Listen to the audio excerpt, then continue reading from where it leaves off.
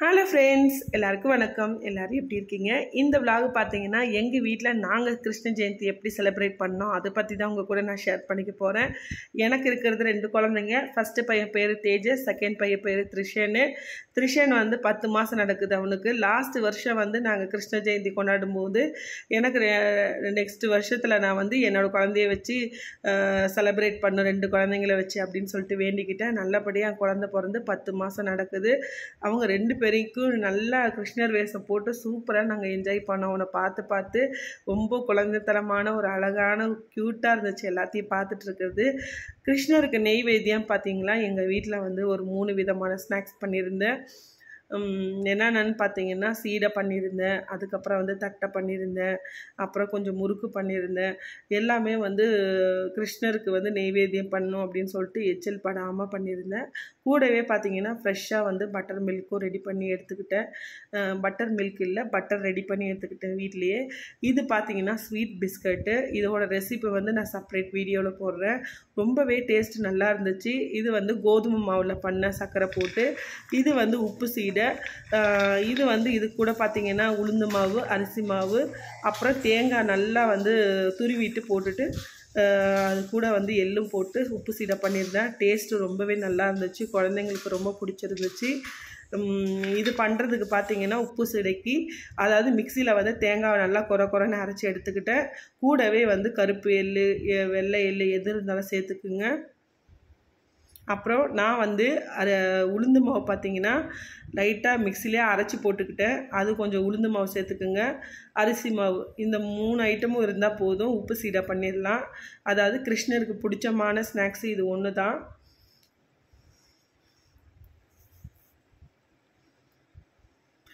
உப்பு தண்ணி மிக்ஸ் பண்ணி அப்படியே வந்து பிசைஞ்சு எடுத்துகிட்டு போட்டால் உப்பு சீடை ரெடி ஆகிடும் கூடவே வந்து நீங்கள் வந்து சூடாக வந்து உருக்குன நெய் போட்டுக்குங்க. இல்லைனா ஆயில் வந்து ஹீட்டாக இருக்க ஆயில் வந்து ஒரு கரண்டி சேர்த்துக்கிட்டு கூட பண்ணிக்கலாம். நான் இன்றைக்கி எதுவுமே சேர்த்துக்கல.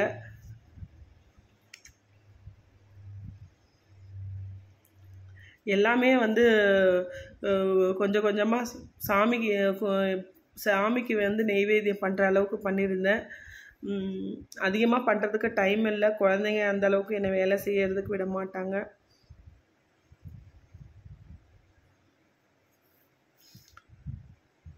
நம்ம செய்கிறது மாவு பிசைகிறது பார்த்திங்கன்னா நம்ம கையில் ஒட்டாமல் வந்துச்சுன்னா அது கரெக்டான பதத்தில் பிசைஞ்சிருக்குன்னு அர்த்தம். இப்போ பாருங்கள் உப்பு சீடை போடுறதுக்கு பார்த்தீங்கன்னா லைட்டாக கையில் வச்சு உருட்டி எடுத்துக்கிட்டேன் ஒரு சில பேருக்கு வந்து உப்பு சீலை உப்பு சீடை வந்து ஆயிலில் போட்டால் வெடிக்குன்னு சொல்லுவாங்க. எனக்கு வந்து அந்த மாதிரி வெடிக்கிறதுலாம் இல்லை. அப்படி வெடிக்கிற மாதிரி இருக்குது அப்படின்னு தெரிஞ்சிச்சிங்கன்னா நீங்கள் வந்து ஊசியால் வந்து லைட்டாக குத்தி விட்டுட்டு போட்டிங்கன்னா நமக்கு வந்து டப்புன்னு அந்த ஆயில் வந்து வெடித்து வராது.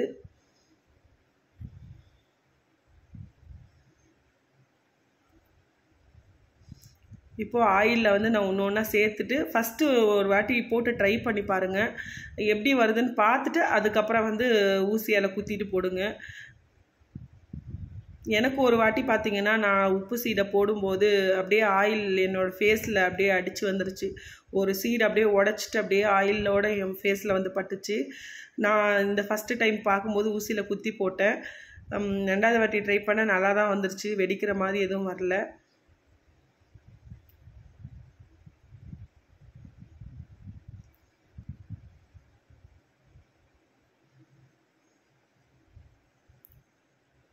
அப்புறம் இன்னொரு பேட்ச் சேர்த்து போட்டுட்ருக்கேன். யாருக்காவது ரெசிபி ஏதாவது வேணும்னு சொல்லிட்டுனா எனக்கு கமெண்ட் பண்ணுங்கள்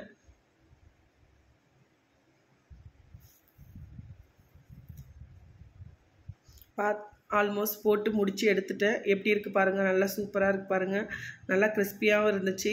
இப்போ பார்த்தீங்கன்னா தட்டை பண்ணுறதுக்கு வந்து ரெடி பண்ணிகிட்ருக்கேன் தட்டை பண்ணுறதுக்கு பார்த்தீங்கன்னா கடலைப்பருப்பு வந்து ஒரு பத்து நிமிஷம் ஊற வச்சு எடுத்துக்கோங்க. கூடவே வந்து எள் பட்டை மிளகாய் அப்புறம் இடித்த பூண்டு கறி லீஃபு ஜீரகம் சோம்பு அப்புறம் கொஞ்சம் தேவைப்பட்டால் பெப்பர் சேர்த்துக்குங்க. அப்புறம் பொட்டுக்கடலை கடலை எல்லாமே சேர்த்துட்டு தே துருவன தேங்காவும் கொஞ்சம் சேர்த்துருக்கேன். என்னென்ன மாவு சேர்த்துருக்கேன்னு பார்த்தீங்கன்னா கடலை மாவு அரிசி மாவு கொஞ்சோண்டு உளுந்து மாவு சேர்த்துருக்கேன். எல்லாத்தையும் நல்லா மிக்ஸ் பண்ணிவிட்டு நம்ம வடை தட்டுற மாதிரி தட்டிட்டு கூட போடலாம். இல்லைன்னா பேப்பரில் ஆயில் வச்சு அப்படியே தட்டிட்டு கூட போடலாம்.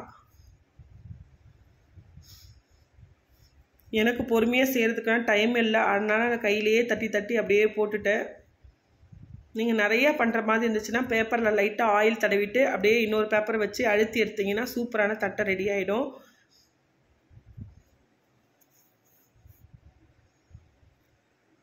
நான் சாமிக்கு நெய்வேத்தியம் பண்ணுறதுனால வந்து எச்சில் படாமல் அதாவது வாயில் எதுவும் டேஸ்ட்டு பார்க்காம தான் பண்ணேன்.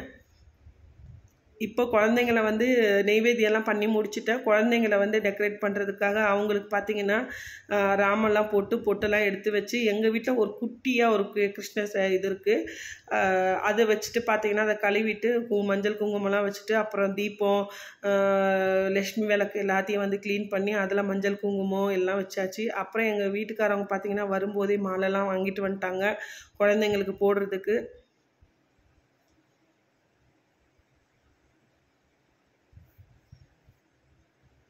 கூடவே அரும்பு பூலாம் வாங்கிட்டு வந்திருந்தாங்க ஆனால் கட்ட முடியல. சரி லாஸ்ட்டாக கட்டிட்டு நைட்டு கட்டி வச்சுக்கலாம் அப்படின்னு சொல்லிட்டு விட்டுட்டேன். எதுக்கும் டைம் இல்லை. அப்புறம் விளக்கு எல்லாத்துக்கும் வந்து மஞ்சள் குங்குமம்லாம் வச்சு பூலாம் வச்சு அலங்காரம் பண்ணிவிட்டு நெய்வேத்தியம் வந்து பிரசாதம்லாம் எடுத்து வைக்கலாம் அப்படின்னு சொல்லிட்டு எடுத்து ரெடி பண்ணிட்டேன். பசங்களுக்கு அதுக்கு முன்னாடி பார்த்திங்கன்னா ட்ரெஸ் அப்லாம் அதெல்லாம் பண்ணும் அப்படின்ட்டு ட்ரெஸ் எல்லாம் எடுத்து மஞ்சள் குங்குமம்லாம் வச்சு அவங்களுக்கு வந்து ட்ரெஸ் போட்டு விட்டதுக்கப்புறம் அவனுங்க ரெண்டு பேரையும் போடுறதுக்குள்ளே ஒரு வழியாக என்னை படுத்திட்டானுங்க. அந்த மாதிரி படுத்திட்டு இருந்தானுங்க. ஃபைனலாக பார்த்தீங்கன்னா என்னோடய ஃபஸ்ட்டு பையன் தேஜஸ் அதெல்லாம் சூப்பராக ரெடி ஆகிட்டான் குட்டி பையனுக்கு வந்து அவ்வளோவா ட்ரெஸ்ஸை போட முடியல. அவனுக்கு வந்து எந்த இதுவுமே கட்டவும் முடியல. கட்டினா போட்டு பிச்சு தள்ளிடுவான் அப்படின்னு சொல்லிட்டு சரி இருக்கிறது மட்டும் மணியும் அந்த கீழே இருக்க அந்த இதுவும் மட்டும்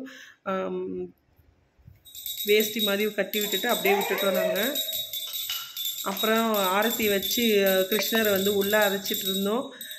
அவனுங்க வந்து என்னடா பண்ணுறாங்க அம்மா? அப்படின்னு சொல்லிட்டு பார்த்துக்கிட்டு ஆச்சரியமாக பார்த்துட்டு இருந்தானுங்க.